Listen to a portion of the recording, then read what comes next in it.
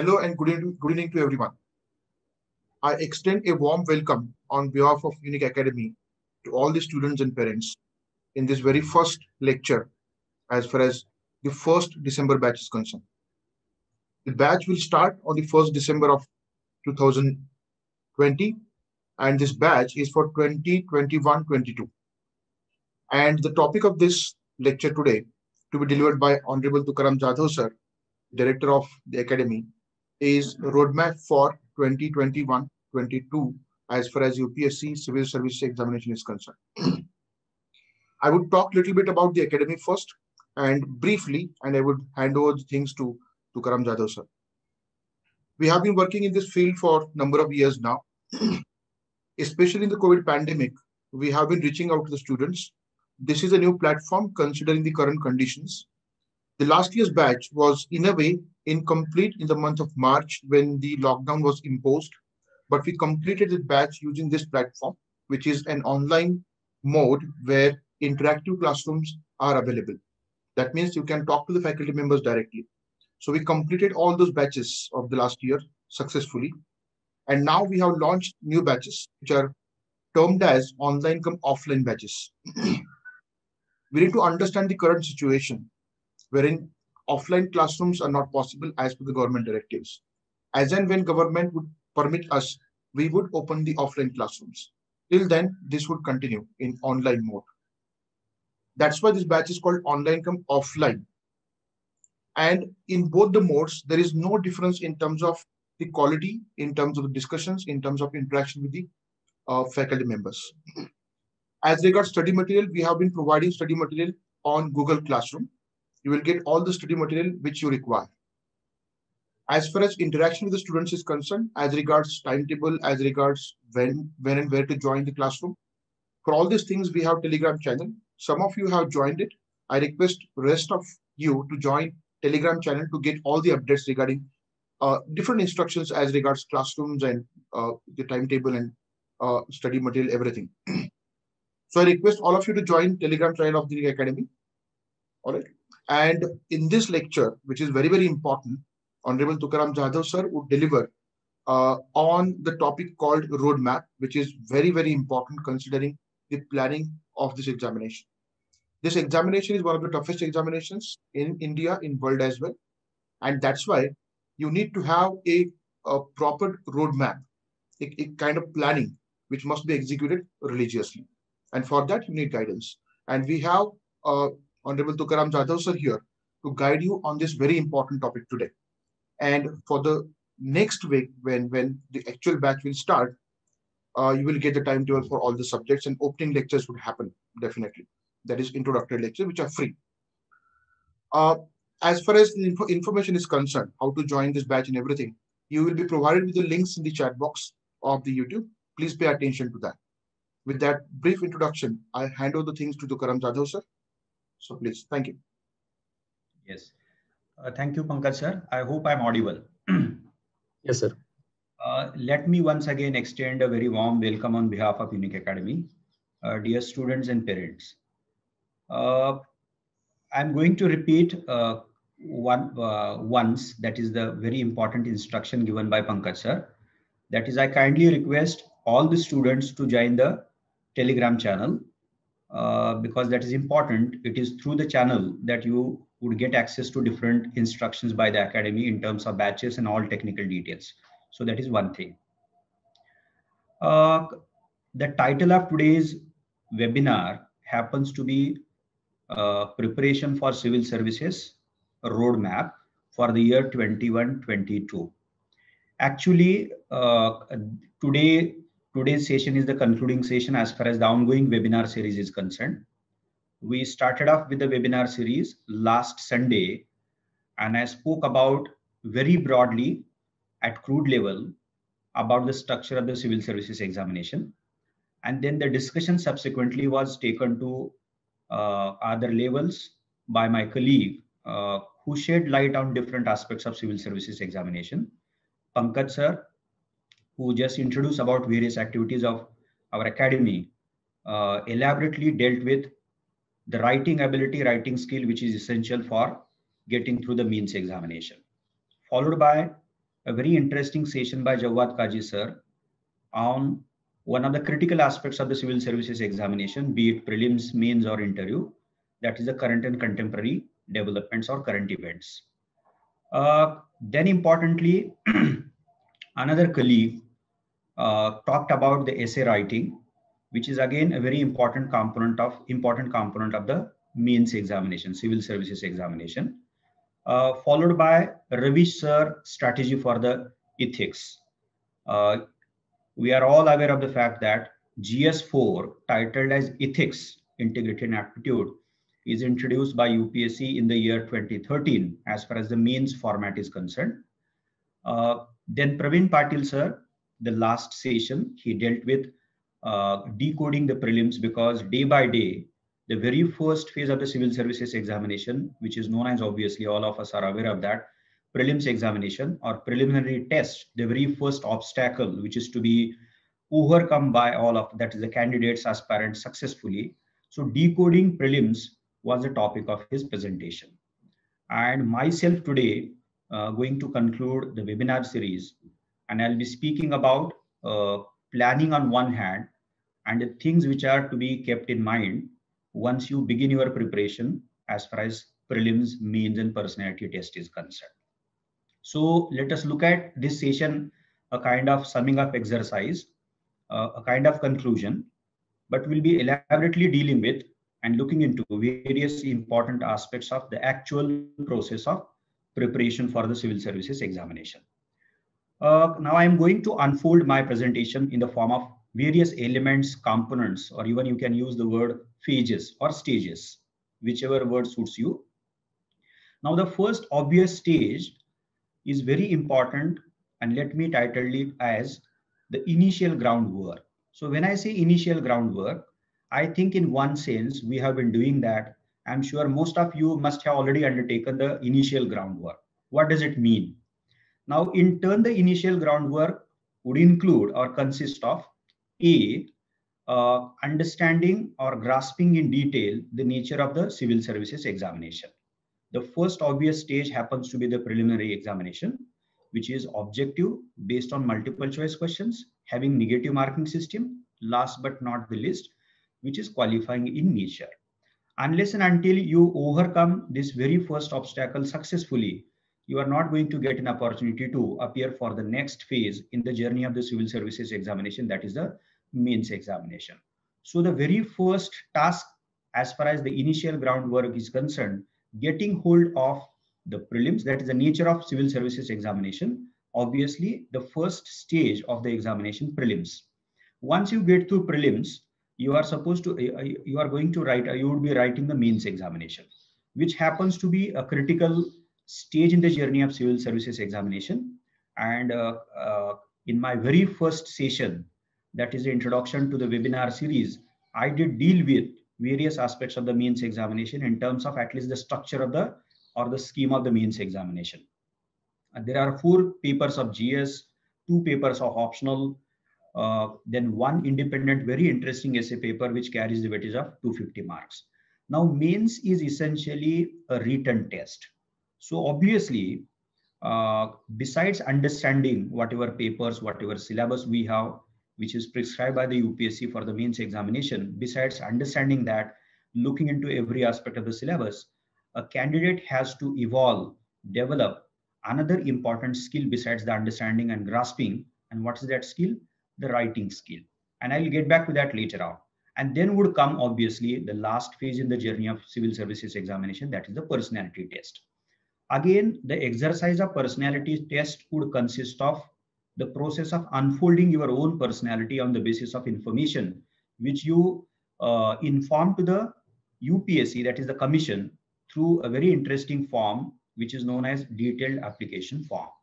So as far as the initial groundwork is concerned, the first sub-step of that initial groundwork happens to be getting hold of every stage of the civil services examination. Now just uh, let me use one word. Now prelims is an objective examination, which requires sharpness and precision as far as your understanding is concerned. Mains happens to be a written examination. You would have to describe, you, you would have to analyze, you would have to explain answers depending upon the nature of the question and demand of the question. So obviously, as I stated a while ago, besides understanding, the mains examination would require a critical skill called as the ability to articulate, ability to present things uh, in a very effective manner. And then as far as the personality test is concerned, besides uh, the, the basic knowledge, besides the understanding of your society, awareness about your ecology, so on and so forth, you should have, besides all these abilities for personality test, you should have, I'm repeating it once again, you should have ability to put across your views, your thoughts, your opinions, your arguments, your perspectives in a very, very confident manner. So let us use a very simple word in the form of one word communication skill. Okay. So sharpness and precision is required, deadly required for the prelims examination. For mains examination, besides understanding, uh, you need to have the ability to write effectively, articulate effectively. And then for the personality test, besides other aspects, okay, we do require in terms of skill, that is the communication skill, effective skill to communicate, put across one's own views and opinions. So this is one sub step as far as the initial groundwork is concerned. Now the second sub step, which is nothing but extension of the first one and uh, take the first sub step to another level. Now, when we say, let us get hold of the civil services examination, then there is one uh, very obvious way of doing the same thing. And that is what I just explained very briefly. That is what is prelims, what is mains, what is personality test. That is what papers do we have, uh, for how many marks, what is the weightage of each and every paper, what syllabus is prescribed for UPSC, so on and so forth. That is one obvious way of making sense of each and every stage as far as the civil services examination is concerned. But there is one more important, very significant way of making sense of each stage of the civil services examination. And that happens to be getting into or reading, comprehending, understanding the syllabus which is given by the UPSC itself. So read syllabus twice, thrice, maybe four times, five times, internalize the syllabus. Now for prelims, we have two papers and UPSC has given in roughly six to seven lines the syllabus for the preliminary examination, including both GS as well as the CSAT. For mains examination, since mains happens to be a very important stage, UPSC has prescribed or given syllabus in detail for almost every paper uh, you would come across or we would come across the syllabus of uh, in, in, in, about two pages, one and a half or two pages. So a detailed syllabus is given by UPSC as far as the mains examination is concerned. So as I stated earlier, reading syllabus, comprehending syllabus uh, happens to be another important aspect of the process of getting hold of this examination.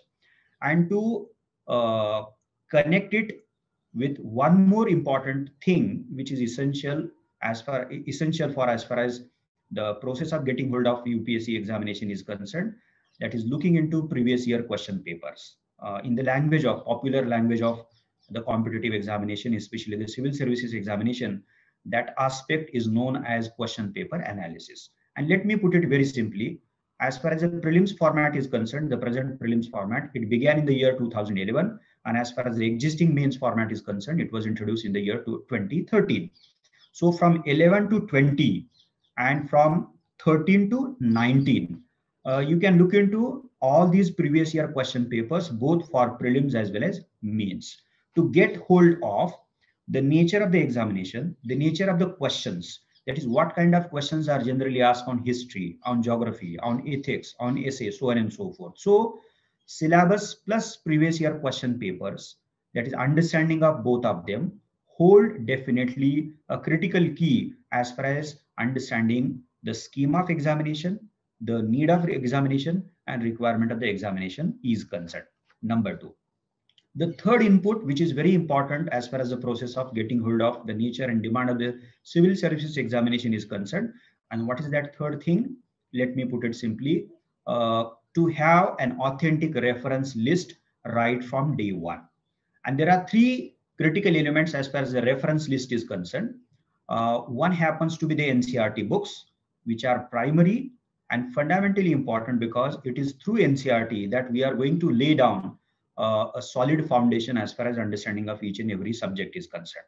Uh, for, for Indian polity, we are going to go through two NCERTs, one Indian Constitution at Work another politics since independence. For history, we'll be reading three NCERTs of 11th and 12th standard, titled respectively Ancient India, Medieval India, and Modern India.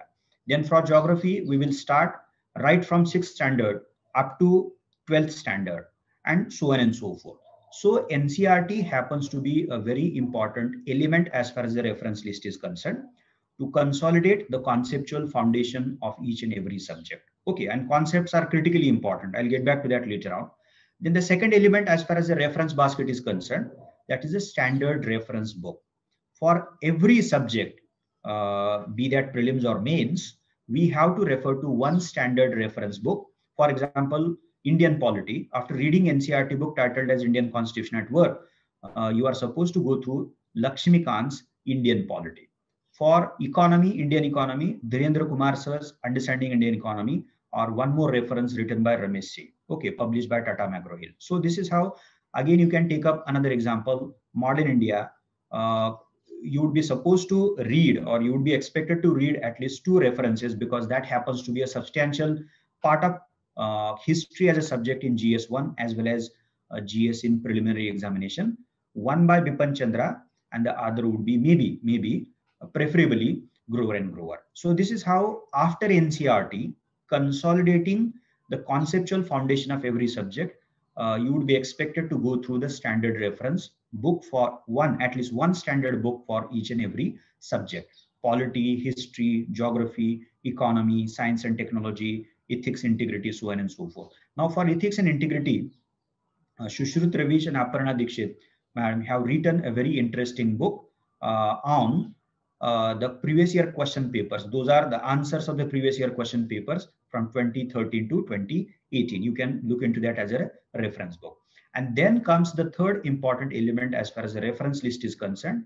And that is generally that is to be used to be read by students, candidates, uh, aspirants in order to prepare and consolidate the current and contemporary developments. So at least one newspaper, maybe even a second newspaper. So Hindu, uh, read it thoroughly, refer and go through Hindu in a very careful and thorough manner. Uh, so preferably Hindu and if possible, supplement with the Indian Express. Maybe one magazine either of uh, the two, that is Yojana or Kurukshetra. So for current events, at least one newspaper thoroughly and carefully and one magazine continuously and consistently. So as far as the initial groundwork is concerned, I was talking about and we will looking into the reference basket as another important element in the form of NCERT, then the standard reference books, and the third was newspaper and maybe one or two journals. So this, this, uh, this is what we have in mind and we should undertake in the form of initial groundwork. That is my first point. Now let us move on to the second point, which is which is critically, critically important. And what is that point as far as the roadmap is concerned? The plan and strategy to be followed by aspirants is concerned, the planning.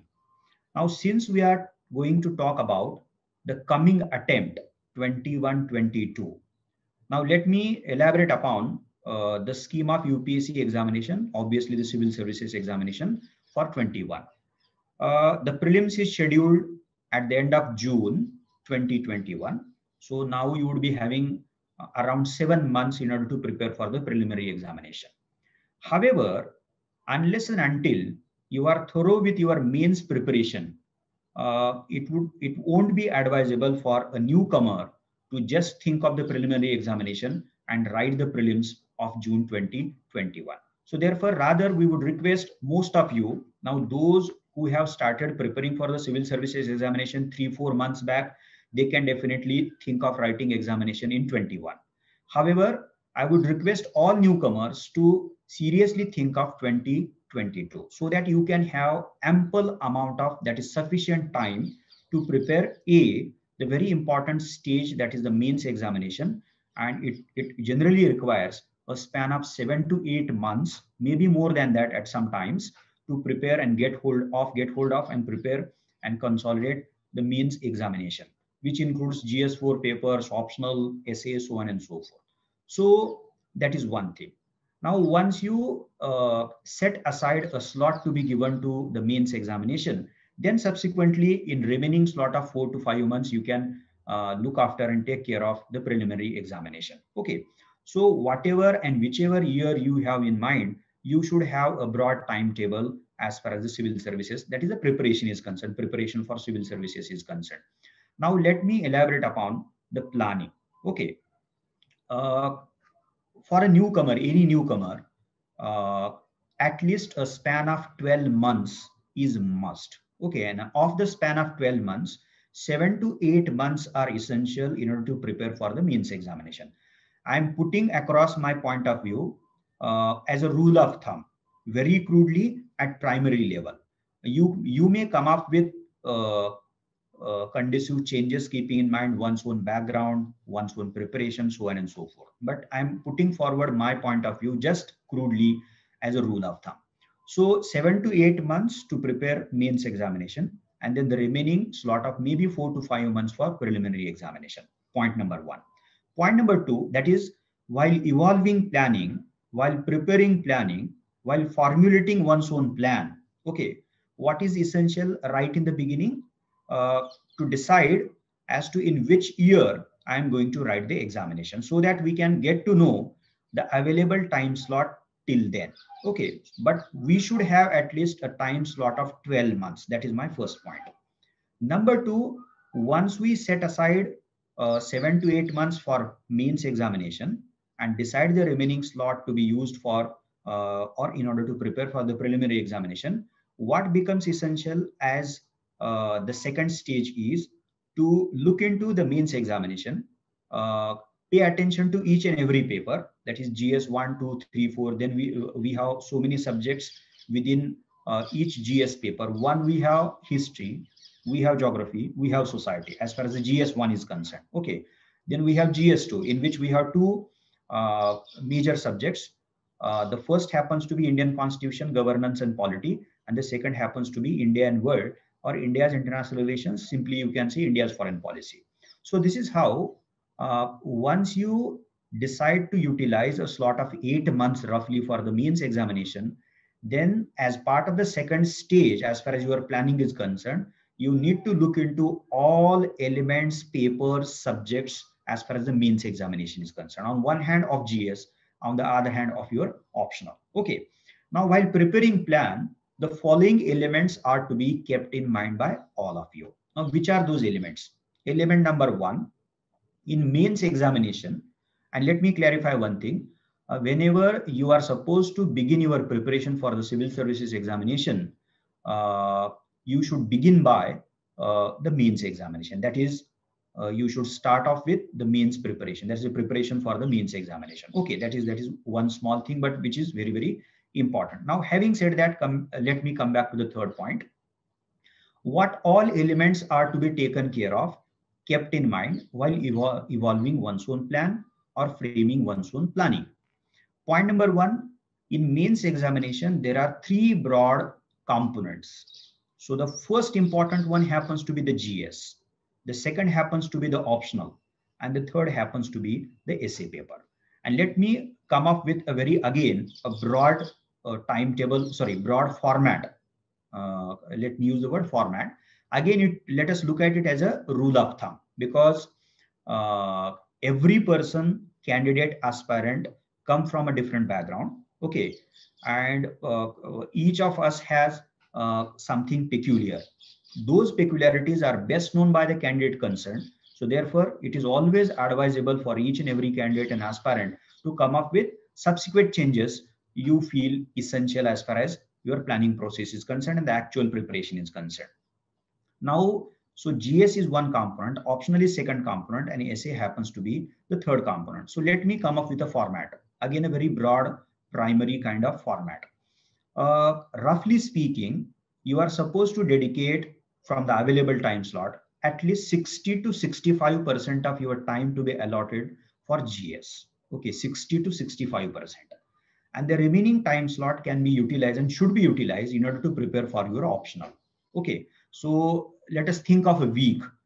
Uh, if we keep aside one day from a week, maybe Sunday, then we have Monday, Tuesday, Wednesday, Thursday, Friday, and Saturday, six days. Now, of the six days, you can definitely think of using three and a half days in order to prepare for the GS and the remaining slot of two and a half days for the optional. I'm just discussing one broad format. You can come up with your own format. There is no doubt about that. And you should not be worried about that. I'm just sharing one broad or crude format.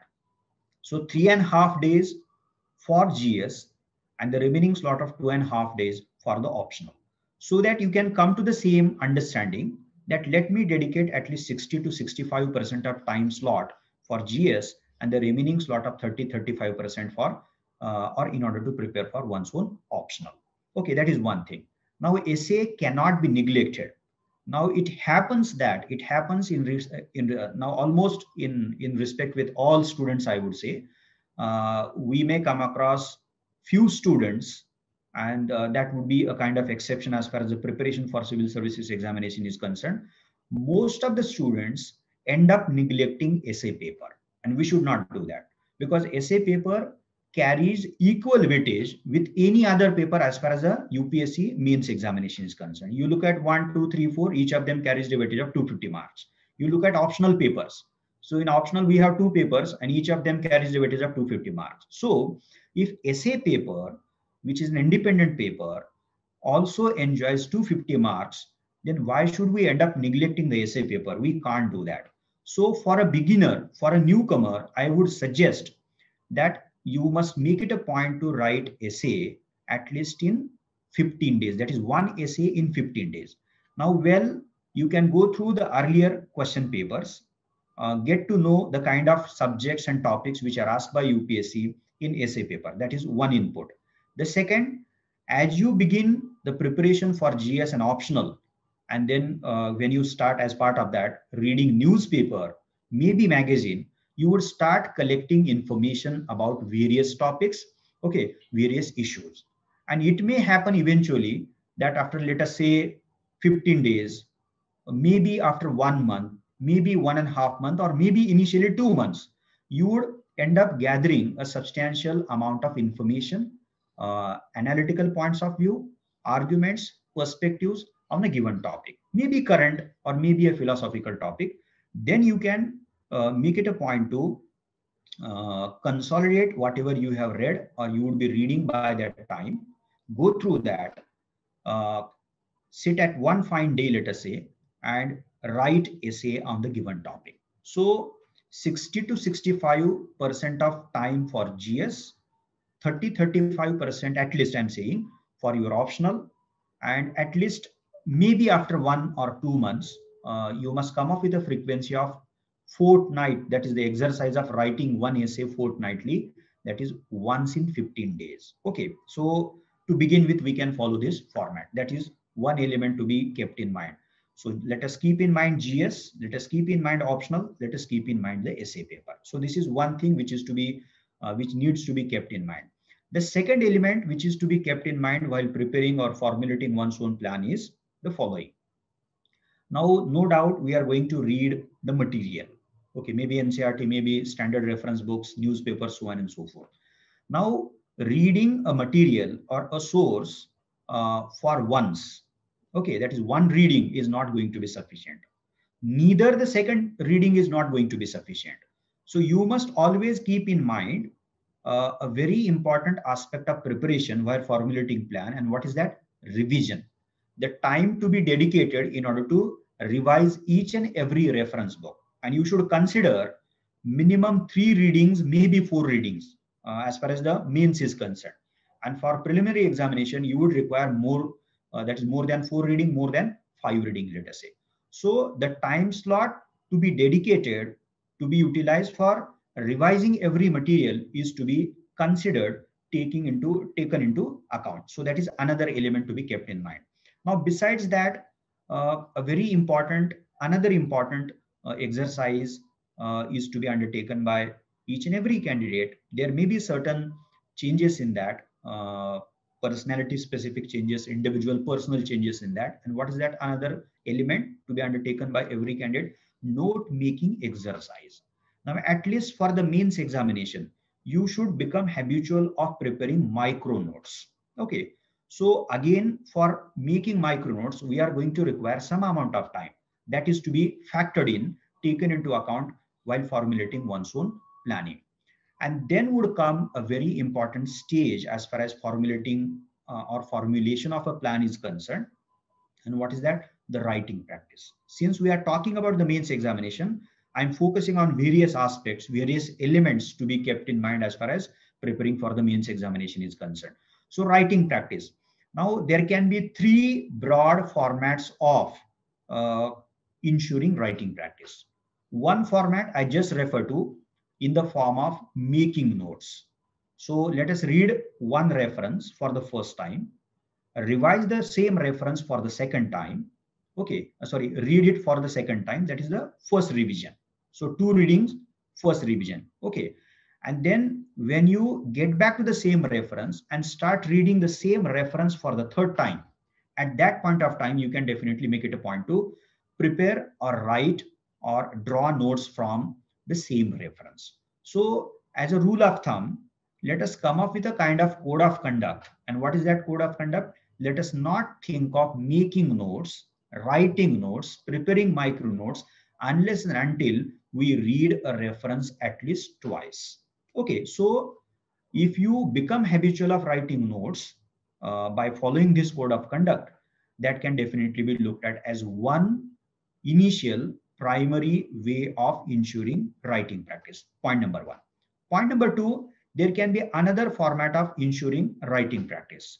Now, once you finish a chapter, uh, maybe from GS 1, 2, 3, 4, maybe from your optional subject, or maybe one topic of essay, let us say.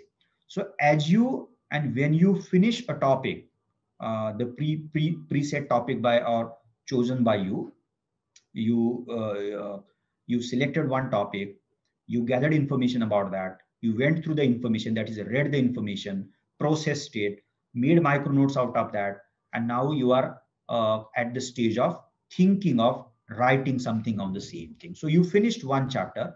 Now what you can do here, you can get back to the previous year question papers of UPSC, okay, and select one or two questions on the given chapter, which you have just finished by undertaking all the essential stages in order to complete that chapter.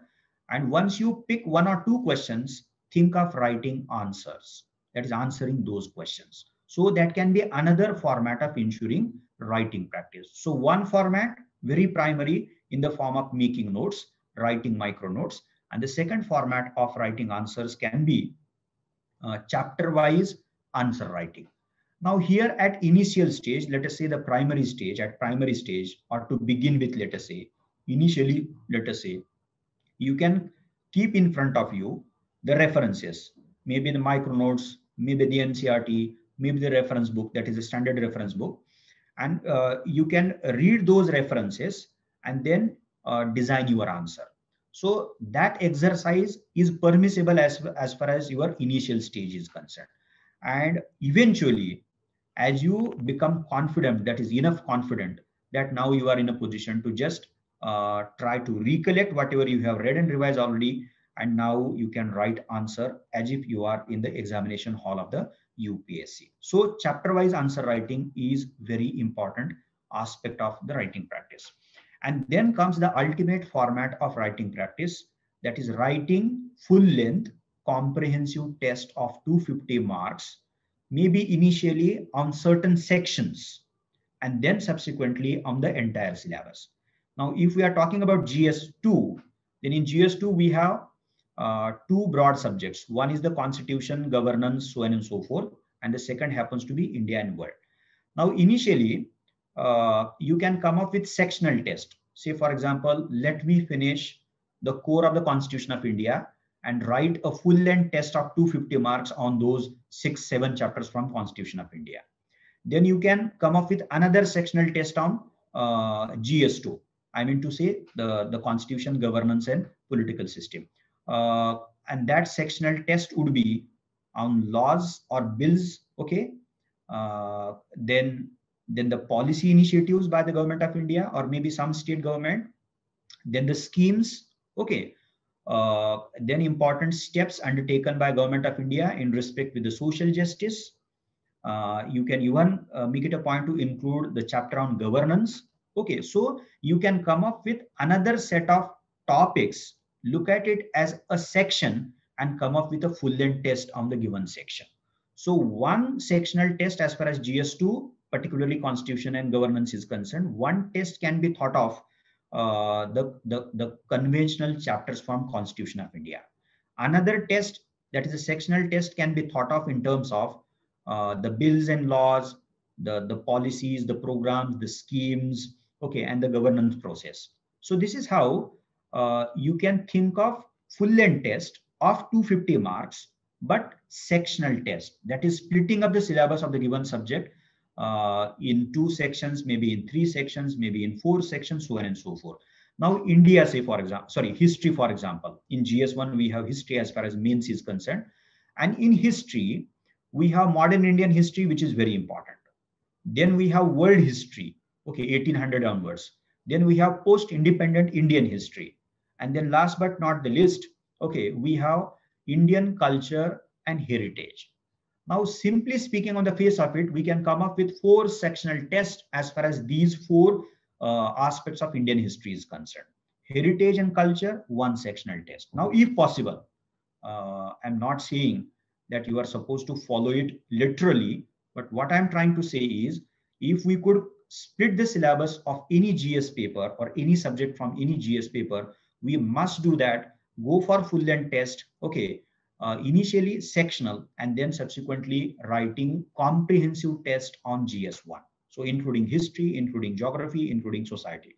GS2 including polity as well as international relations. GS3 including economy, science and tech, disaster management, biodiversity, internal security. And GS4, whatever syllabus we have, we'll go for full length test. So let me come back to the point.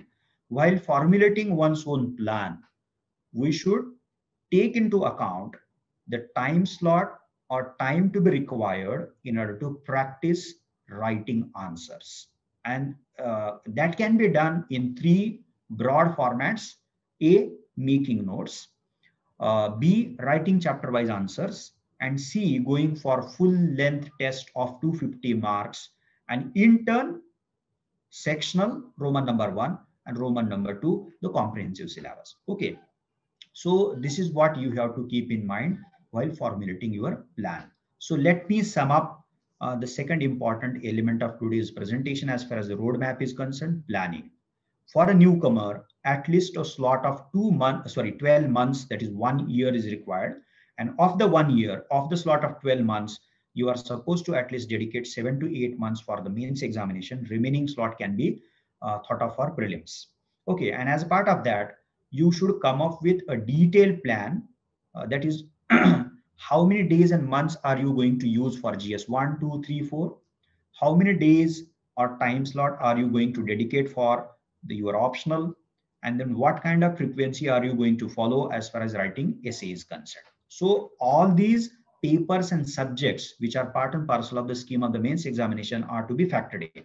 And then uh, I talked about, I explained other elements of the preparation as far as the civil services examination is concerned. That is revision uh, that, that is to be factored in, the note making exercise that is to be taken into account, and then the writing practice should be uh, considered while formulating one's own plan. Okay, now once you follow this code of conduct, okay, and I, I, I uh, shared all these uh, views, let us say, as rule of thumb. Again and again, I'm repeating it uh, it's not that you are supposed to follow this timetable literally, not at all, because every person is a different kind of person. Uh, given one's own background, uh, the degree you come from, that is the stream you come from, your medium, uh, so on and so forth. So that that that that that is to be taken always uh, note of. Okay. Now this is what we have to keep in mind as far as the planning is concerned.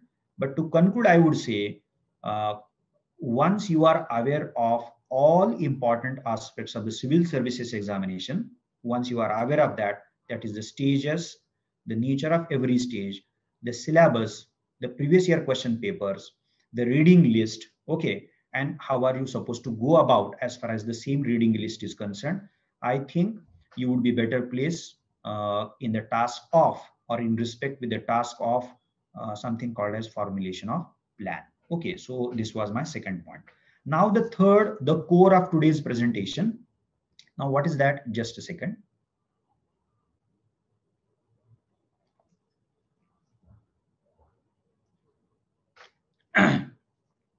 Now the third point happens to be, and let us look at it as a core of today's presentation, that is the actual preparation. Okay.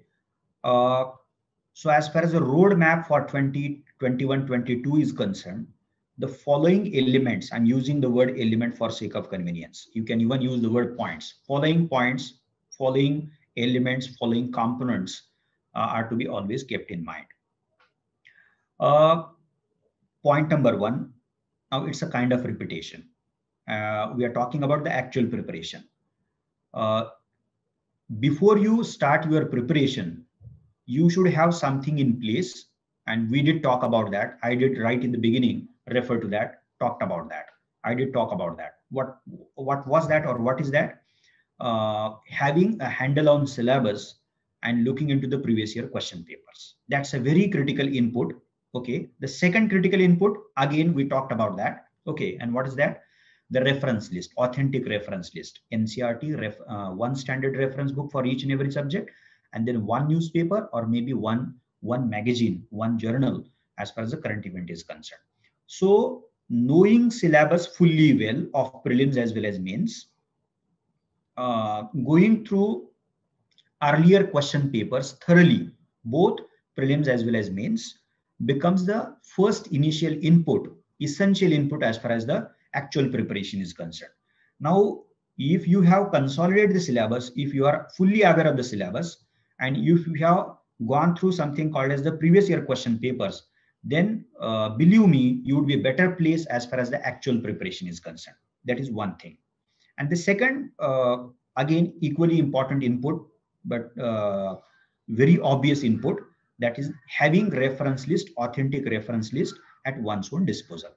Three elements in the NCR, uh, sorry, in the reference list, I'm repeating it once again, NCRT, at least one standard book, and then one newspaper and maybe one journal for the current events, maybe magazine. Okay, so this is the second input.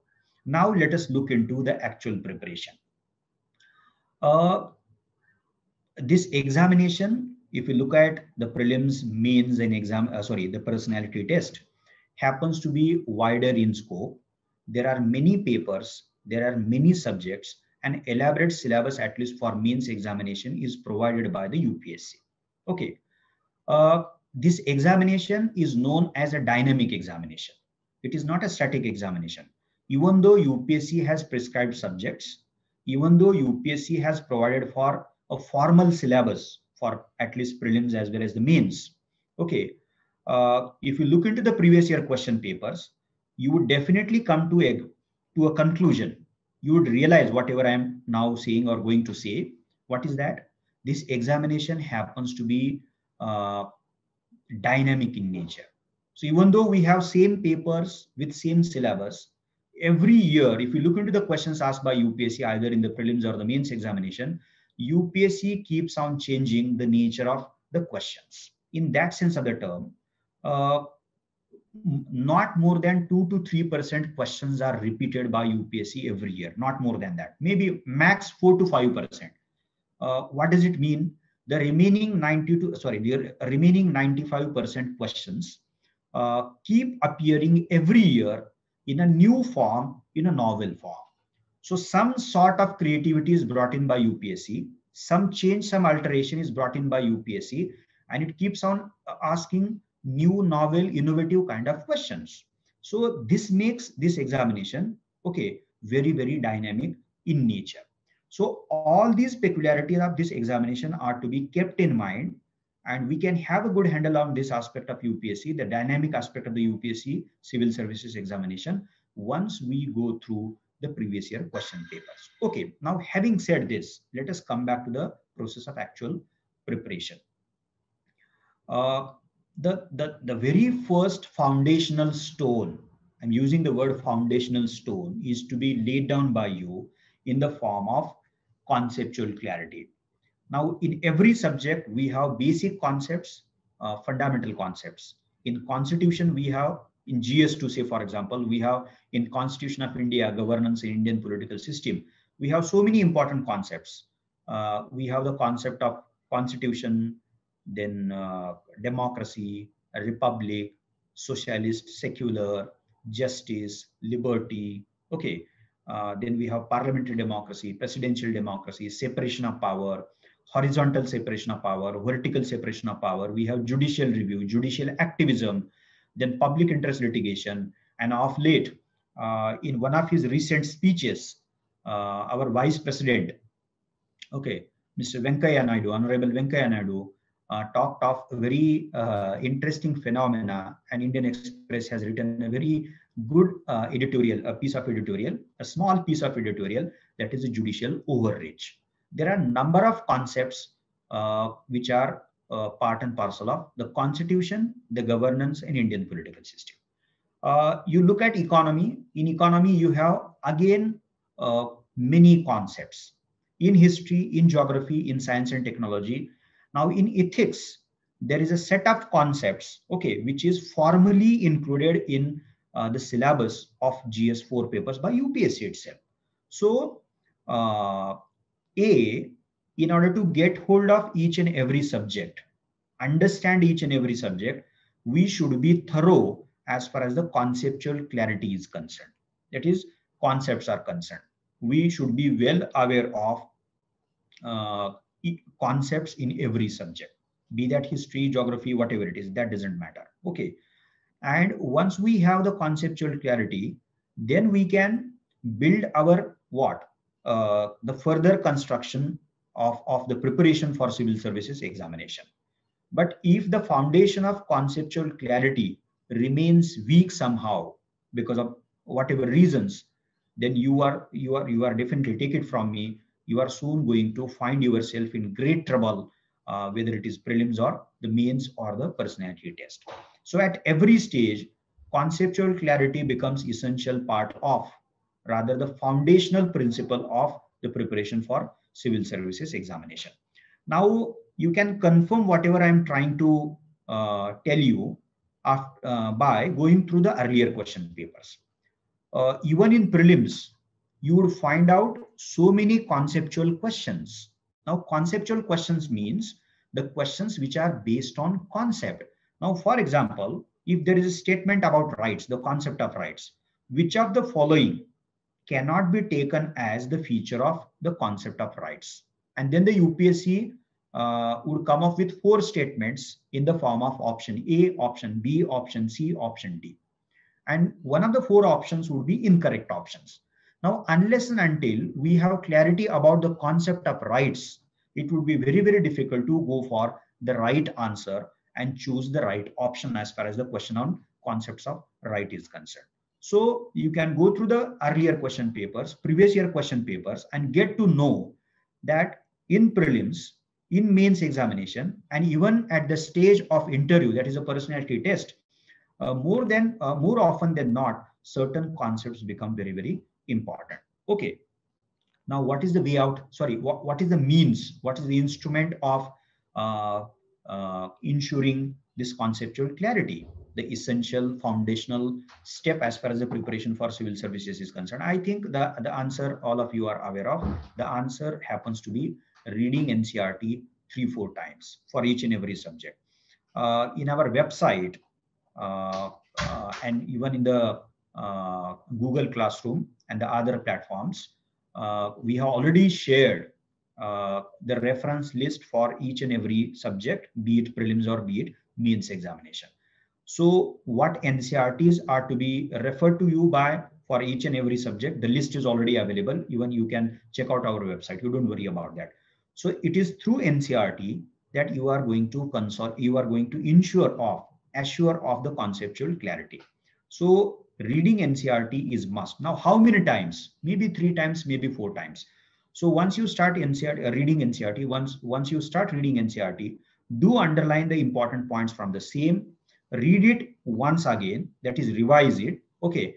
And then maybe after reading the same stuff for the two times, you can think of uh, highlighting or preparing micro notes from the NCERT.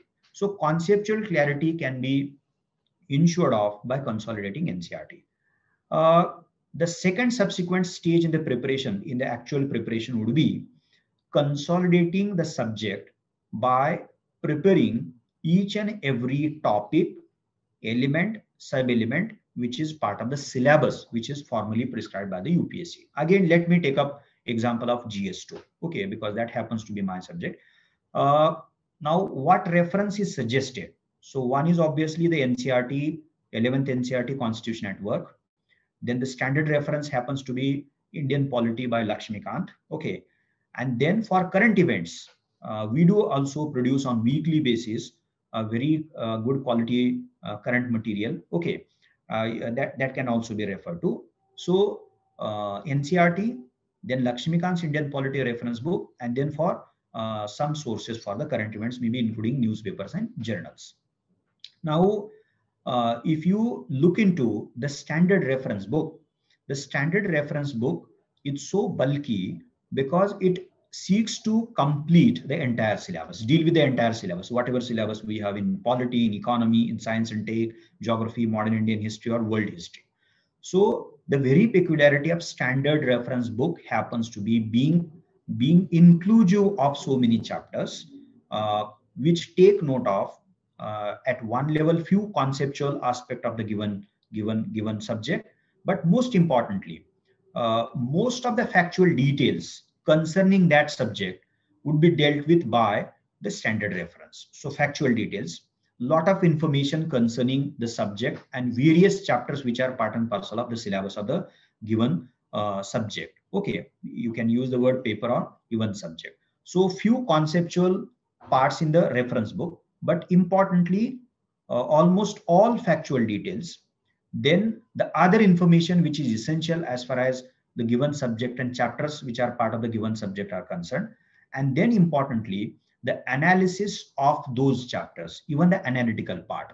So let me simplify saying that in standard reference books, uh, we'll get to see few concepts, but importantly, lot of facts and factual details plus lot of explanation and lot of analysis.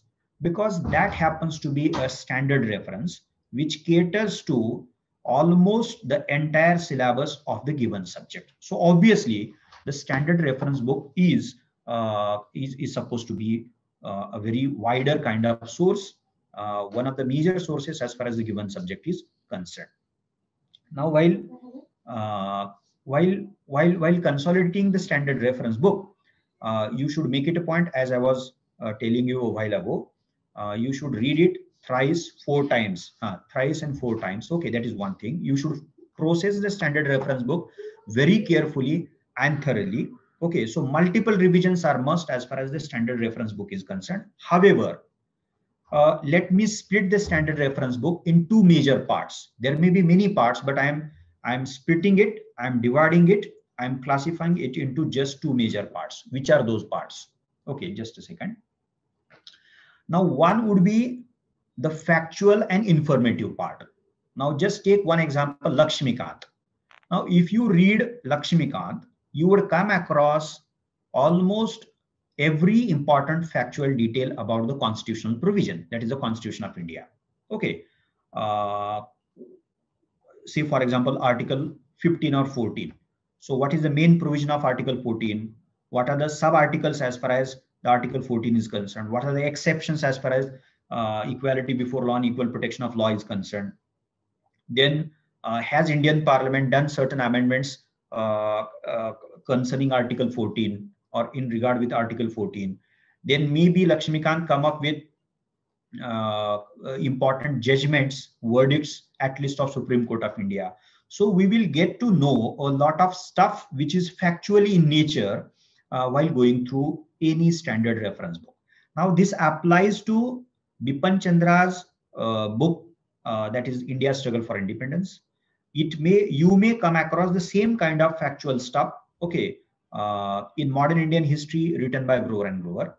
Then Indian economy. Okay, understanding Indian economy published by Unique Academy written by Dhirendra Kumar sir or Ramesh Singh's Indian economy. So you you name any reference book, you would get to see a lot of factual detail, information, informative stuff as far as the book is concerned, standard reference.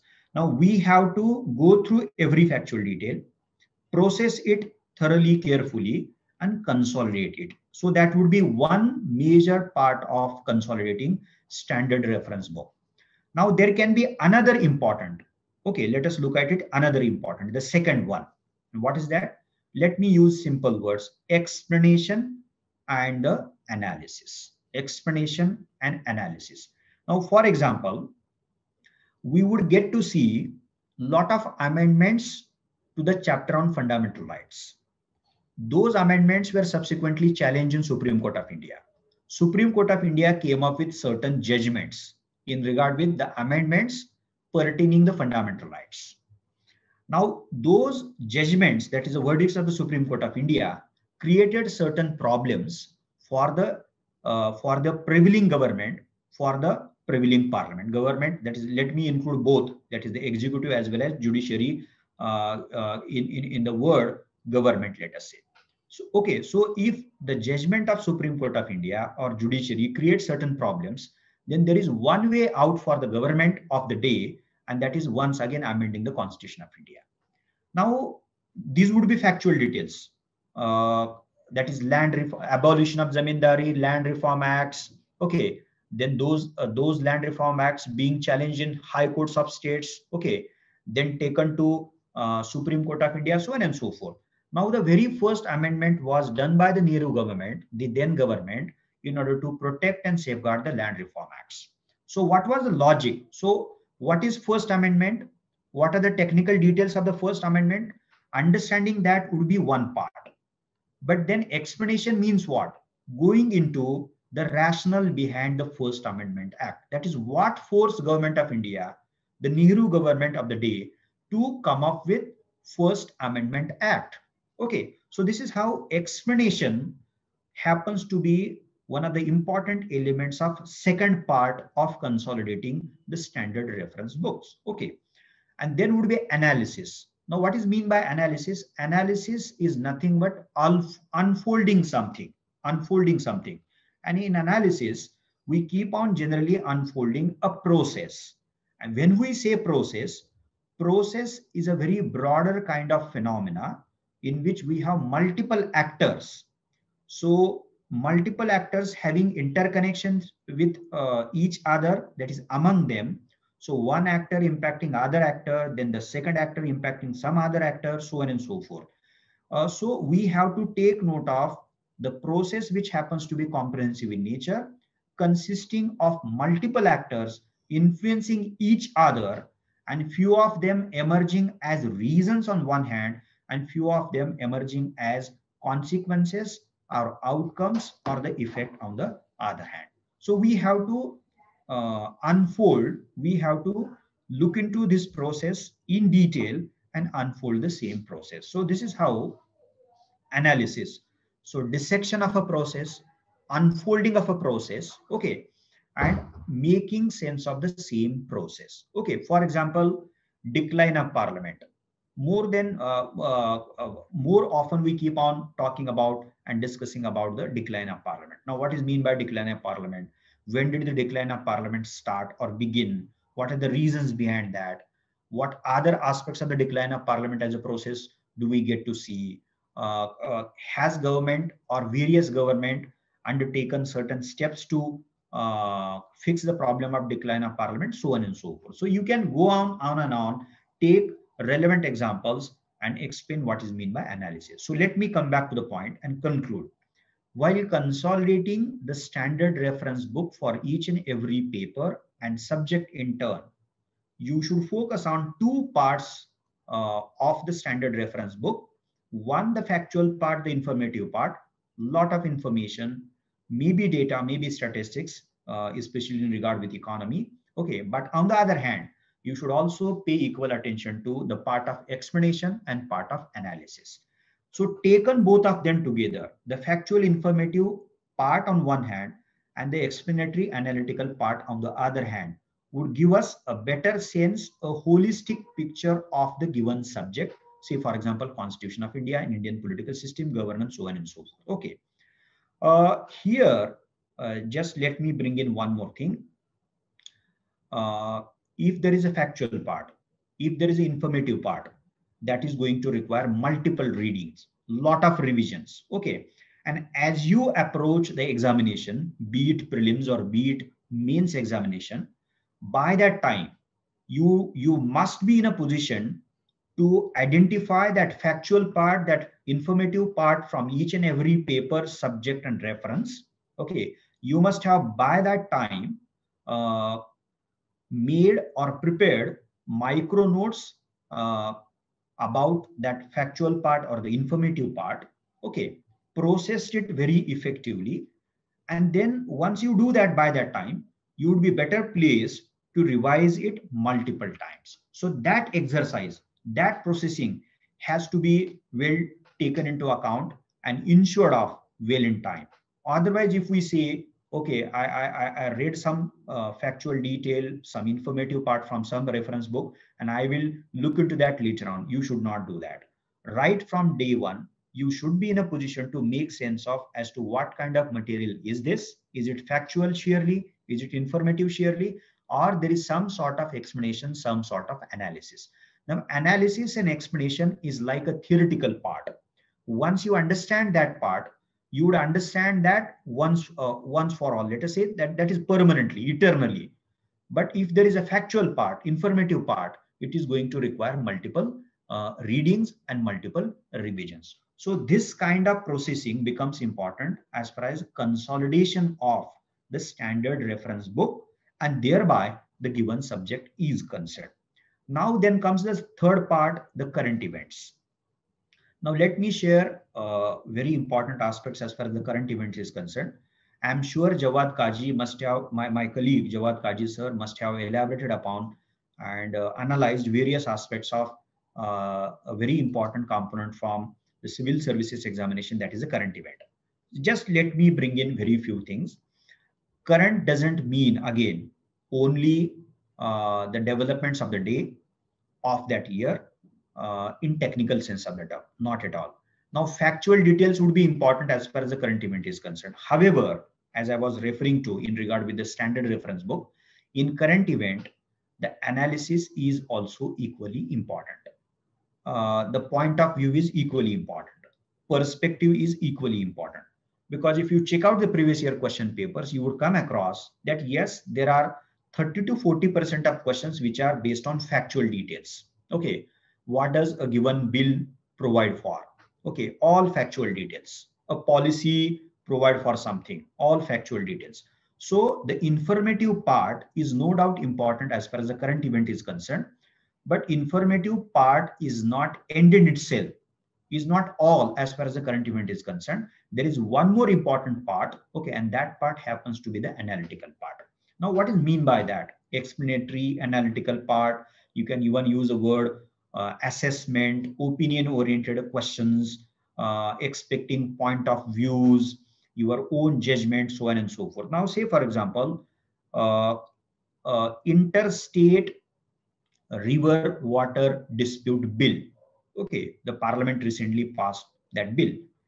Now we know it for sure as to what kind of problem we have as far as the interstate uh, river sharing issue is concerned. That is water sharing is concerned. Okay, we, we, we know it for sure. Okay, there are historical reasons, there are geographical reasons, there are there are reasons which are uh, connected with the economy. So historical reasons, geographical reasons, no doubt about that, economic reasons, and to make it further complicated, there are political reasons as well we know it for sure that Indian democracy is going through a transition and identity politics has become very, very sharp, okay, in nature. So the history, geography, economy uh, is sought to be kept aside. The entire issue becomes or likely to become political out and out. And then it becomes very, very difficult to uh, find out a consensus between and among the states. So if this is the issue, then what do we find as far as the given issue is concerned uh, in the recent initiative which is taken up by the Indian Parliament in the form of the bill? Okay, so you would be asked to assess the given bill. Now, point number one, we should be aware of the bill concerned, all the important provisions of the bill, point number one. Point number two, if an analytical question is asked, if an assessment question is asked, do you think that the given bill would be adequate enough to address the problem of interstate uh, river sharing water dispute is concerned. So is it adequate? Here you will have to assess the same thing. Now it would require a thorough reading of the editorial pieces on the given bill, various point of views by experts, by activists, okay, uh, by by commentators, okay, uh, from different sources. So uh, somebody, some of some of them uh, would support the government initiative, and they would find certain positives in the bill on one hand, and then the the remaining one would make it a point to point out, identify, underline the lacunas, and then some editorial or some lead article in some newspaper may even talk of the kind of challenges yet to be faced by the government of the day. So this is how, uh, while preparing for the current events, facts are important, information is important, but opinion perspectives are very, very important. Okay, so this is how we need to take care of the current events. Uh, on regular basis, as far as the planning is concerned, you can think of utilizing at least to begin with, a slot of two hours in order to prepare for the current events. Okay, at least two hours on daily basis, maybe three hours on daily basis. Okay, that is one thing. Point number two, current is important. There is no doubt about that.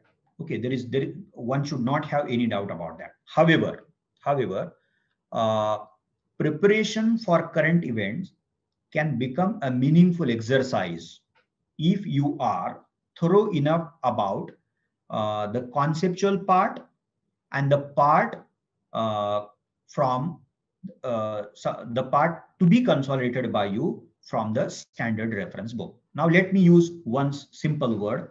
Now if you are thorough about, if you are aware about, if you have consolidated, consolidated the conventional part, the static part, the traditional part from each and every paper then you would be better placed to make appropriate sense of the current events uh, happening in regard with the given subject. Now, say for example, if something happens uh, uh, in regard with fundamental rights, in regard with judiciary, okay, then I would be better placed if I am aware of all the primary details about the chapter on Indian judiciary.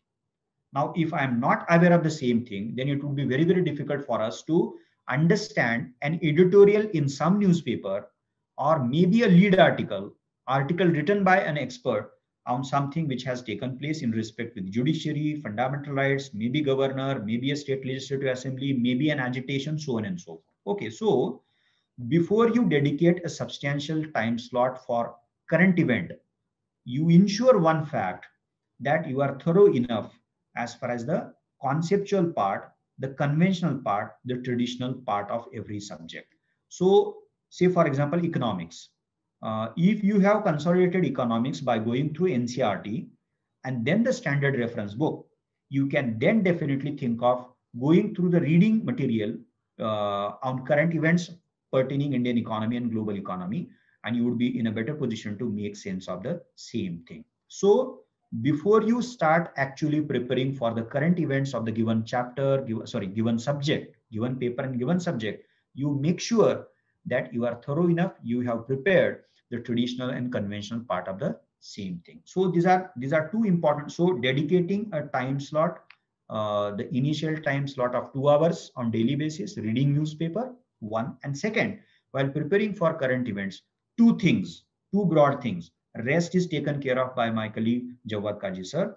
So one is the factual informative details on one hand and the other analytical part on the other hand. Okay. Now, uh, the next important elements as far as the preparation is concerned. So let me conclude this. Uh, consolidate the concepts and ensure of the conceptual clarity for every paper, each and every paper, including all subjects through reading NCERTs and consolidating NCERTs. Number two, let us be thorough uh, about reading the standard reference books. Okay, you are going to uh, complete the given subject from the given paper by going through multiple times the standard reference book. Okay, uh, thoroughly. And then would come the current and contemporary events, uh, which you would prepare by relying on newspapers and maybe one journal and some material provided by institutes. Okay. So this is one aspect of the actual preparation, point number one. Point number two, uh, I actually refer to the, the, the following points in earlier discussion as well. Micro notes. You should make it a point to prepare micro notes. And I shared few things about the exercise of making micro notes. Let me not repeat the same thing. But micro notes are must as far as preparation for mains examination is concerned. Uh, once you go through any stuff uh, for two times, then and then only you can think of making micro notes. Point number one. Point number two, the notes are to be literally micro, very precise and very sharp in nature. Point number two. Point number three, you should make it a point to revise micro notes.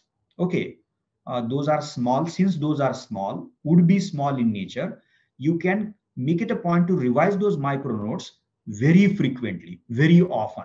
On daily basis, you can make it a point to revise micro notes. Okay, that is the that is another thing.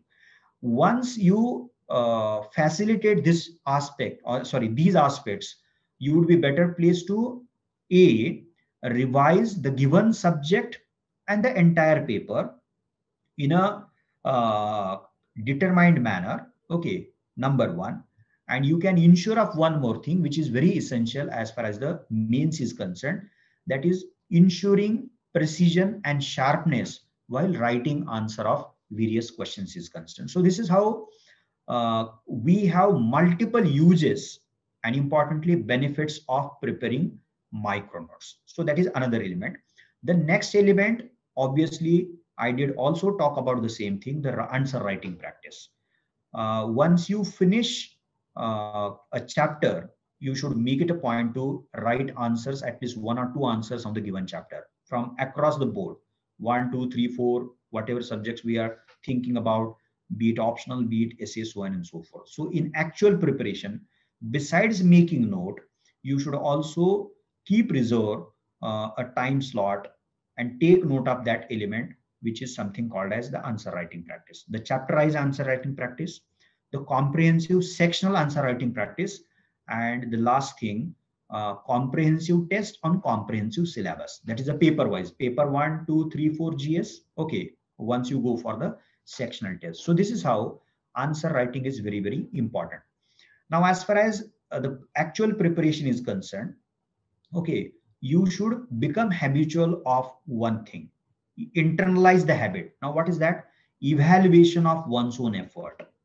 Now there may be multiple ways of evaluating one's own effort. On daily basis before you go to sleep you can just check out uh, as to what you had decided right in the beginning that is uh, early morning and uh, what could you do? Okay could you complete uh, the, the the the preset task or not? If yes, there won't be any problem. If not, then you should look into the reasons behind that. Was it that the, the subject was very difficult? Was it that the given write-up took uh, much more time than the decided one? Whatever it is. Okay. So this is how you should rationalize whatever has happened to your timetable and the set target on a given day. So on daily basis, you can evaluate your own preparation on weekly basis you, you should keep evaluating one's own effort. That is one very obvious way of uh, evaluating one's own effort. That is one thing. The second thing uh, there can be there can be two aspects of evaluation. One would be the quantitative one. And as far as the first obvious thing is concerned that would help us in assessing one's own effort in quantitative terms. That is uh, could i study for 10 hours a day 11 hours a day. So that is just a quantitative way of okay numerical way of judging and assessing one's own effort. Okay could i sit for 10 hours for 11 hours at a stretch uh, for a whole week for the entire month so on and so forth? That is one way. But there has to be another way of another criteria of evaluating one's own effort. And that that criteria that uh, way happens to be something called as the qualitative effort. Okay, and especially in respect with the mains examination, uh, you are going to read, you are going to revise, you are going to make micro notes, and then you are going to write answers of few questions. Now, initially, what would happen? uh, you would be asked not to pay attention to the time management. Okay. Now for writing answer for 10 marks, if there are generally eight to nine minutes in the examination hall, here you can think of taking 15 minutes, maybe 20 minutes initially. So you don't, you, you do not worry about the time management. Let it take 15 minutes, 20 minutes, 25 minutes, because initially what would be essential for you while writing answers? A, preparing the frame of the answer, coming up with effective introduction, dealing with all aspects of the demand of the question, and then concluding the same answer in an effective manner, in a relevant manner. And initially that would take uh, more minutes, much more time. Let it be, don't worry about that. Uh, once you write an answer, you cross-check answer written by you yourself. You put yourself in the capacity of an assessee or examiner and assess your answer very critically uh, as if forgetting that the answer is written by you. So this is how uh, on your own, you can judge, you can assess your own effort. That is the answer written by you. And then uh, what can be done uh, once you assess your own answer, find out the lacunas, go for writing the same answer for the second time. Okay. Uh, you would edit few sentences while writing answer for the second time and then you would try to make your answer much more precise much more sharper okay now what happens uh, while elaborating upon some point we try to do the same thing by bringing in by referring to various examples. That is illustration of some point. Now initially it may happen that we may end up using two three four sentences or three four lines in order to do the same thing which otherwise would have done by the you uh, done by you just by uh, using two lines.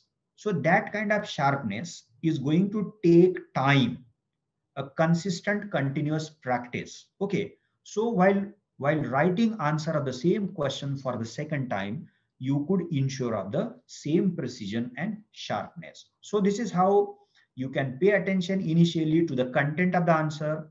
Simultaneously and subsequently you can start paying attention to the presentation part. Then subsequently you can start pay attention to the articulation part the language part because everything cannot be paid attention to right from the beginning at the same time. Eventually let us say because after all this complex uh, sorry this examination is very complex. You are supposed to read and go through a lot of stuff take care of so many elements as far as the preparation is concerned. We will always keep in mind all those important elements. However, while, while going for actual preparation, while doing something actually in reality, we will approach the same process step by step in an incremental manner. Okay, so initially, let us pay attention to the quality part of the answer. Let us pay attention to the content part of the answer, whether I have covered all points, all dimensions as far as the given issue is concerned. And then I look into whether I could uh, cite out some examples, whether uh, I could bring in relevant commentators, uh, could I bring in uh, some data, some figure. Okay, uh, was my introduction initially relevant and pertinent? Was my conclusion that effective?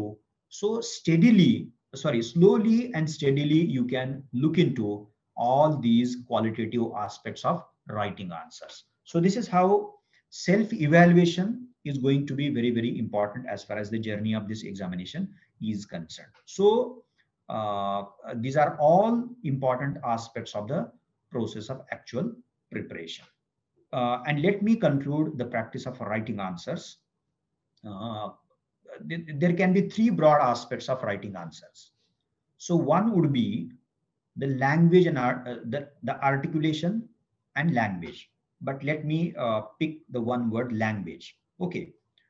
Now, simple language is the best language as a formula applies to UPSC as well. You need not be worried therefore uh, as far as that aspect is concerned. So let the language be very simple. Let every sentence be legible. Let it have at most uh, uh, amount of clarity. Okay, number one. However, uh, while while while using a simple language, you need to ensure of one thing that is use of appropriate words, appropriate terms, and that is called as the terminology. So while writing answer on uh, Constitution of India, you should have that constitutional terminology. While writing answers uh, on questions pertaining Indian economy, then you should have the language of economy, geography, history, so on and so forth. So let the language be simple. Okay, uh, you need not be worried about that, but you should make it a point to use appropriate words, terms, and terminology. That is one aspect, that is the language aspect. Now, what is the way out of evolving this language aspect as far as the writing uh, skill is concerned?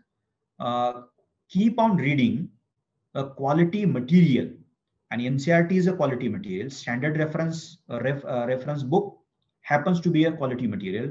Uh, your newspapers and journals are also part and parcel of the basket of quality material. So you need not be worried.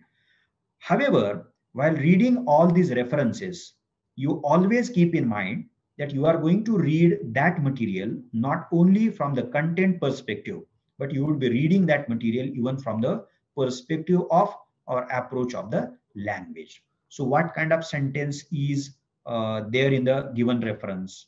Uh, what kind of syntax is used? Okay, tense, every every every important element of the language aspect of the writing ability. Okay, terms, terminology, so on and so forth. That that is one thing.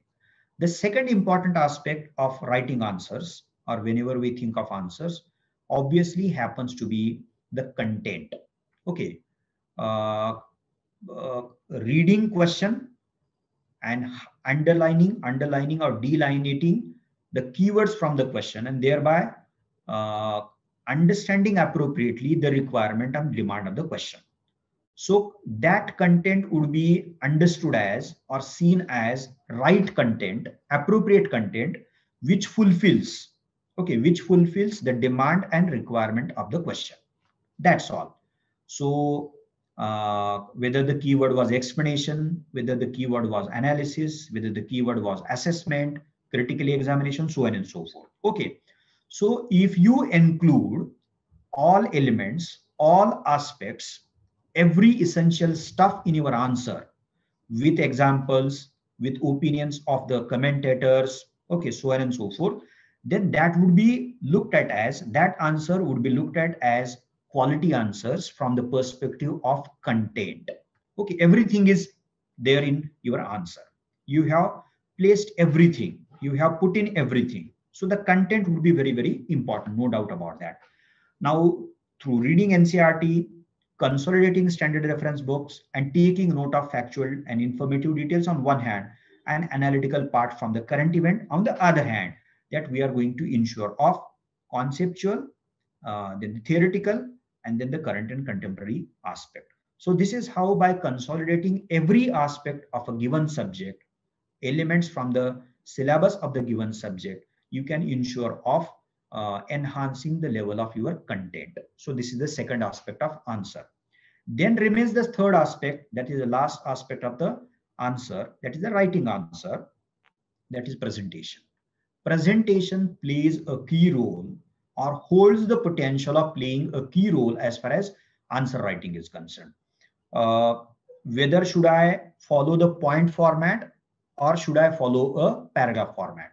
Now it all depends upon uh, the nature of the question and the demand of the question. But generally as a rule of thumb, you can definitely follow a pointed format, a point format, one, two, three, four. Uh, more often, let us say in GS. So there won't be any problem, okay, in following a pointed format as far as GS is concerned. But it doesn't mean that you cannot think of following a para format in GS. It all depends upon you, point number one. Point number two, again as a rule of thumb, in optional subject, uh, you are you are asked to, you are requested to follow a paragraph format. Okay, but again, depending upon which subject are we talking of, in the form of optional. Say, for example, geography. Now, the very nature of geography happens to be technical in nature. There you can follow the pointed format. Okay. But other humanities, that is a subject like history, philosophy, political science, even to some uh, uh, sociology, anthropology, so on and so forth. Uh, mostly the para format is suggested. But I would say you should not uh, get into the, the binary. Should I follow pointed format or should I follow a para format? You can go for any of the format, okay, by keeping in mind that thumb rule, but you should guarantee one thing that from sentence number one to sentence number last, okay, that is the last sentence of your answer, you should ensure of consistency. You should ensure of flow, okay, organic flow. So the first sentence takes us to the second sentence, then, then the third sentence, you may end up your paragraph. Then in the second paragraph, you are going to uh, what unfold some other aspects, some second aspect, but related which is which which forms part and parcel of the demand of the question so this is how you can ensure of continuity okay continuity not consistency. I use that word wrongly. Consistency okay uh, sorry continuity. Continuity the flow is the appropriate word. So continuity is the right word. Flow is another appropriate word. And organic flow the most appropriate word. To make it uh, make it very simple to put it in a very simple manner first sentence should take us to the second sentence and then the last sentence to cut it short. So then it won't matter whether you have followed a point format or a para format.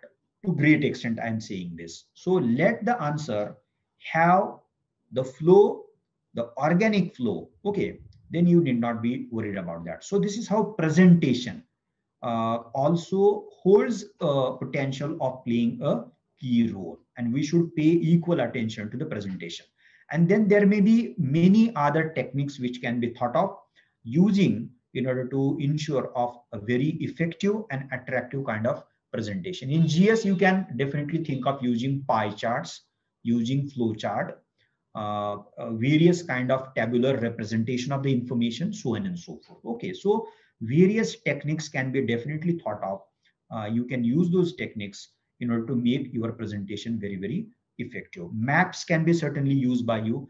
Any innovative mean means can be instrument, can be technique, can be certainly used by you. But there has to be there has to be a connection between techniques on one hand and whatever argument, whatever point you are going to make on the other hand. Otherwise, your answer would seem like a patchwork. And uh, a good examiner, a good assessee would not be very happy uh, by looking at your answer uh, in the form of a patchwork, not at all. Okay, so this is how A, the language part, which is very important, B, the content part of your answer, and C, the presentation part with so many techniques. Okay, uh, we can pay attention to all these aspects as far as the writing answer is concerned. Now, let me come to the conclusion of my presentation. Uh, to conclude this session, I would say that the, the, the, the, the plan of action, the roadmap should aim at as uh, part and parcel of your preparation, aim at development of certain skills. And these skills, I'm referring to few of them, but let me point it out uh, in, a, in, a, in a sequence as far as the roadmap for uh, the civil services examination in 2020 21 22 is concerned the first skill which is essential is the decision making skill. Okay uh, you are going to prepare for this this examination uh, which is wider in nature. There is a lot of syllabus. You are supposed to read a lot of stuff so on and so forth. So what is to be done and how is to be done by you? It requires uh, a very uh, appropriate kind of effective kind of decision making ability on your part you cannot think of every now and then depending upon somebody else. Maybe your friend maybe your teacher. Now friends would definitely provide you a critical input. The toppers would definitely provide you a critical input important input and so would be the case of a teacher. No doubt about that. You make it a point to ask help from them. Do take help from all of them. But eventually you are the one in the capacity of an aspirant who is supposed to formulate one's own plan and take plan to another level. So decision making is something which is to be developed as a capacity by you. That is one thing. The second thing i would put in so many skills to be to be developed by you and which are very uh, general obvious skills uh, which are to be possessed by an aspirant who is thinking of preparing for the civil services examination. Uh, you should have self belief you shouldn't be suspicious about one's own ability. Now think for a while. If you as a candidate as a person as an individual are suspicious about not sure about your own capacities then nobody else is going to help you out.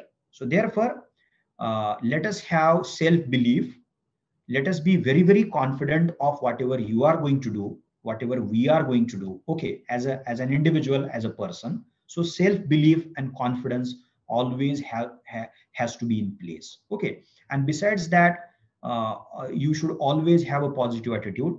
It is very uh, easy for me to put it across uh, but uh, you are the one in the capacity of an aspirant who should always have that possess that trait let us say. Okay. And the only answer would be a consistent continuous effort can assist us in having self belief and then the confidence then the positive attitude which is which is which is very very essential. Another skill actually i refer to that in a, a while ago uh, the, the ability to assess one's own effort in a critical manner. Self evaluation that plays a very significant part as far as one's own preparation is concerned self evaluation and that evaluation can be done in a quantitative manner as well as in a qualitative manner. You need not be worried about that. Okay. So these are some or few general skills and abilities which are essential as far as the civil services examination is concerned that is preparation for this examination is concerned one thing. On the other hand there are certain specific skills which are uh, very important significant to be developed by you. One is comprehending ability the ability to read something read between the lines get into the implied meaning okay understand. To be in a position to make appropriate sense of the implications the the what? The subtle meaning of something so on and so forth. So comprehending ability is very very important. And it is uh, by reading something consistently carefully reflecting upon the same that we can uh, ensure of developing comprehending ability. Ability to understand ability to comprehend with all its aspects, some, some topic, some chapter, whatever it is. Point number one. The second ability, critical thinking ability. Now, as I was uh, telling you, explaining a while ago, this examination is very, very dynamic. It forces candidate to think about so many things. So, uh, thinking happens to be the inherent part of the DNA of the civil services examination it is a must needed quality from an aspirant thinking. And i would just prefix one thing critical thinking. That is whatever you are going to read uh, you are advised to not take it for granted. Okay read it. Think about the same. Think in a critical manner. Raise pertinent questions about the stuff you are going to read okay and get it clarified. Look into the reasoning the rationale behind that and then assess the same thing on the basis of whatever has taken place in reality on the other hand. So this is how uh, let us inculcate a habit of not taking anything for granted. Let us inculcate a habit of raising W questions. Uh, why, what, when, so on and so forth. Okay. And that would definitely help us in developing the required critical thinking ability okay as far as the preparation for civil services examination is concerned. Okay so number two. Number three again i did refer to that quality a while ago uh, as part of the actual preparation that is the writing ability. Okay you should develop a very effective skill of writing ability of writing. And as i was telling you a while ago once again uh, there may be three important aspects. There, there, there are three important aspects, the language aspect, the content aspect of answer, and the presentation aspect of the same one. So when I say writing ability, you should pay attention to all these three aspects. Okay. And then the last thing would be the communication ability, because at the level of personality test, at that stage, uh, the ability to put across one's own opinions, one's own point of view, very confidently okay uh, that that that is something which is uh, uh, significant as far as the communication skill is concerned. And I would say, anyway, uh, your preparation of the mains examination and then the preliminary examination would definitely assist you in laying down a solid foundation for the development of the communication skill. What would remain subsequently would be the actual practice of speaking to others. Okay, and we do uh, ensure of the same thing. We can take note of the same thing by going for more and more mock interviews. That can be definitely definitely done. You don't worry about that. Now let me take up just one last thing. Uh, we are going to start with a new batch for the English medium students from Tuesday. That is the 1st of December. And that batch would essentially be for uh, 21, 22, but the 22. Okay. Uh, we will start with the mains syllabus first and then subsequently followed by the preliminary syllabus. Okay. Uh, we are going to have demo lectures for two coming weeks. Uh, the detailed timetable would be uh, displayed and made available on uh, the social media platform that is the group uh, which you were instru instructed to join. Okay, so once again, I request all of you to join the Telegram group and you would get to know every detail about the batch, uh, which we are going to start from coming Tuesday, that is the 1st of December. Okay, number one. Number two, as far as uh, the institutional effort, which we take up as part and parcel of the batch is concerned, uh, a detailed classroom teaching happens to be the critical part of the classroom teaching program. That is one thing. We, we make it a point to clarify all concepts, uh, encourage students to think and think in a critical manner. So that critical input in terms of classroom teaching is made available. That is part of the classroom teaching program, number one. Number two, uh, provision of, that is providing quality material both conventional and importantly, the current quality material happens to be another element of the unique way that is the institutional uh, support which is provided as part of the classroom teaching program happens to be the second point, the quality material, point number two. Point number three, uh, we assist students through answer writing programs uh, on something called as, which is critically important, and we have uh, dealt with that aspect elaborately in detail that is the answer writing practice. Okay. So how should we go about writing answers? How should we read questions? Uh, split that question into certain parts, identifying ident identifying keywords, and then developing appropriate response in the form of answer of the same question. Okay. Uh, and then I was talking about the language part, then the content part, and the presentation part. So uh, we do provide assistance as far as answer writing practice is concerned and which uh, happens to be once again i'm repeating critical part of the civil services mains examination okay so this is the third thing and the fourth thing we do provide uh, personal counseling rather we encourage students to uh, ask questions and queries and get it clarified from each and every faculty okay so this is what we do as part and parcel of the institutional effort, uh, which is very much part of the classroom teaching program, which we are going to start from 1st of December. Okay. And that batch essentially primarily would be for or is for 21-22 examination. Subscribe the Unique Academy's YouTube channel and press the bell icon for latest updates and videos.